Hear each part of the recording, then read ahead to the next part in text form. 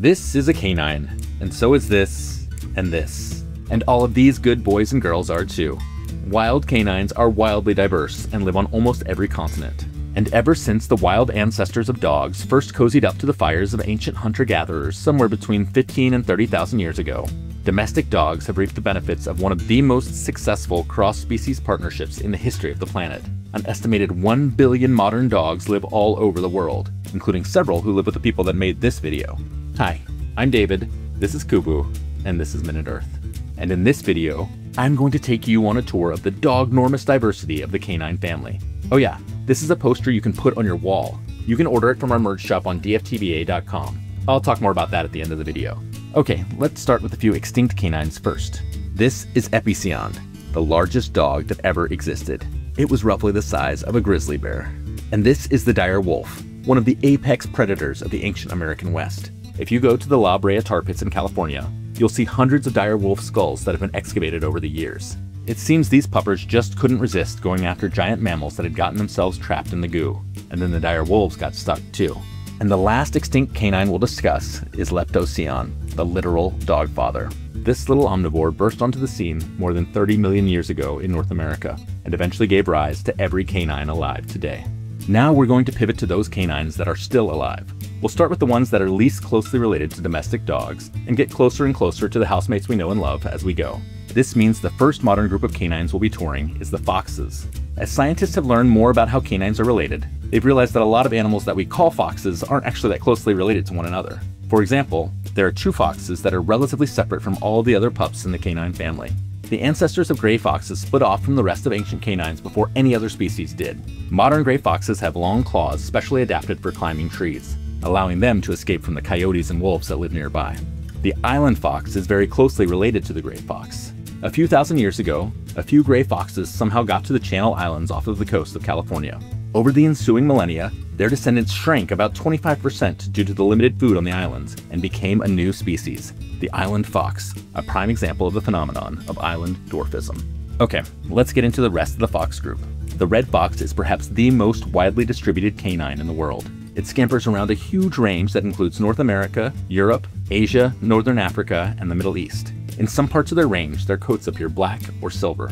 Beginning in 1952, a Soviet scientist started selectively breeding some of those silver red foxes to see if he could eventually produce tame animals. In doing so, he hoped to prove how humans had first domesticated wolves. It took a while, but more than 40 generations later, his team has created a small population of tame silver foxes, with floppy ears and curly tails, who love to snuggle with humans. As winter fades in the far north, the Arctic fox sheds the fluffy white coat it uses to camouflage itself in the snow, and grows in a thinner coat packed with more melanin, which it then uses to blend in with the summer landscape. The fennec fox is a desert dweller, and pretty much every part of its tiny body is optimized for life there. Of course, it's got those giant bat-like ears, which dissipate heat and help it listen for prey hiding under the North African sand. It's also got shovel-shaped front feet to help it dig quickly to get into its burrow. And the raccoon dog, even though it looks like a Pokemonified version of, well, a raccoon, is probably pretty closely related to those foxes. It's also the only canine that hibernates during the winter. Okay, that's that group. Now let's head over to another branch of the canine family tree to meet a group of pups that you might be a little less familiar with. Let's start with the crab-eating fox, which again is not really in the fox group. Crab-eating foxes stalk mud flats, waiting for the snack they're named after to wander out into the open. Next, let's meet the bush dog, a squat little doggo with webbed feet that lives in the marshes of the Amazon rainforest. Bush dogs can actually take down big prey like capybaras by hunting in packs and nipping their quarry's heels until they finally knock them over. Then there's the maned wolf, which looks like a red fox with cartoonishly long legs. Its height gives it a better view of what's going on in the South American grasslands. Finally, there's the short-eared dog. These elusive South American natives are one of the few canines that can spray stinky smells from their anal glands. They often live in the abandoned burrows of giant armadillos. Okay, let's turn to the group of canines that are more closely related to modern dogs. The black-backed jackal is famous for its broad diet. It will eat pretty much everything, from grasshoppers to seals to impalas to the hard melons of the Nara tree. The African wild dog, uh, I mean the painted dog, has recently gotten a rebrand as conservation groups attempt to prevent its impending extinction by making it sound, well, less wild. The endangered dholes of southern Asia might be the most famous example of a phenomenon called reticulate evolution. That is, they might be the product of a long ago hybridization between wolves and painted dogs. And here's the infamous coyote, While the growth in human settlements across North America has been bad for most species, it's been a boon for coyotes, whose flexible diet, willingness to live near humans, and ability to increase litter sizes when stressed have allowed them to tremendously expand their range and numbers. And of course, there's the gray wolf. Gray wolves are the ultimate pack hunters. Their sociability is also almost certainly what led them to the huts of ancient humans, which eventually led to their domestication as the canines we love today modern dogs. One of the first dogs we know was the Von Oberkassel dog from about 14,000 years ago.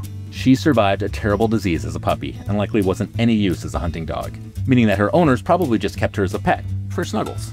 Dingoes likely originate from some of those earliest domesticated dogs. It seems as though a group of them traveled by boat from Asia to Australia several thousand years ago.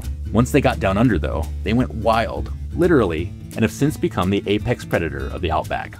Since those early days of domestication, humans have been selectively breeding dogs for all sorts of traits, resulting in hundreds of different breeds. We can't cover them all here, but let's talk about some that really stand out. Basenjis are short-haired African hunting dogs that are famous for the fact that they don't bark. Instead, their vocalizations sometimes sound like yodels. Xolos are sometimes called Mexican hairless dogs, thanks to their origin and appearance. There's evidence that the Mayans buried these dogs with their owners, since they were thought to be reliable guides to the underworld. Mastiffs often weigh more than 100 kilograms and have been used as guard dogs, hunting dogs, and even military dogs. Nowadays, they're more known for their drool than their ferociousness. Huskies and Malamutes are often used as sled dogs because, thanks to a quirk in how they are able to use their energy reserves, they can run ultra marathons for days at a time, making them the best endurance athletes on the planet. Poodles, known for their brains and distinctive curly coats, were often used as performers in old-timey circuses. Labrador retrievers, usually yellow, black, or chocolate colored, were originally bred in Canada to be game retrievers for hunters, but thanks to their friendly temperament and smarts, labs are now super popular pets. And though golden retrievers look a lot like labs and were bred to do many of the same jobs, they first came from Scotland. Perhaps the most famous golden retriever is Buddy, the star of the Air Bud cinematic universe. The German Shepherd is super popular and learns commands quickly. They're known for their work as police dogs and search and rescue dogs. Belgian Shepherds, especially the short-haired breed known as the Malinois, are extremely athletic and trainable. Whippets were the favorite dog of Louis XV. They're known for their speed and nervous energy. Occasionally, a genetic mutation that only occurs in this breed creates super muscular dogs known as bully whippets. Dachshunds, also known as wiener dogs, were bred to be able to fit into burrows and flush out badgers. In fact, the German word for badger is dachs. Nowadays, though, dachshunds are mostly just cute, long pets. A greyhound can hit speeds of more than 75 kilometers per hour. They have the highest percentage of fast twitch muscles of any breed. The smallest of all dog breeds, Chihuahuas get their name from a Mexican state where they originated. The smallest Chihuahua ever, Pearl, is only 5 inches long and weighs just over a pound. To me, French Bulldogs look kinda like gremlins, but I guess that look is in. They are now the most popular dog breed in America, having knocked Labs out of the top spot in 2022. Akitas are known for their loyalty. Even after his owner died, Hachiko the Akita waited at the train station every day for nine years for him to return home from work. In the process, he became a national hero as the ultimate symbol of faithfulness. Great Danes are the tallest dogs in the world. Standing on his hind legs, the Great Dane Zeus was taller than Shaq. He could drink directly from the kitchen sink. St. Bernards are famous mountain rescue dogs. Barry the St. Bernard is credited with saving more than 40 people in his work for a Swiss monastery. He'd sniff out people trapped in avalanches, dig them out, and then lick them and lie on them to warm them up. Of course, there are also lots of types of dogs that aren't considered purebred at all.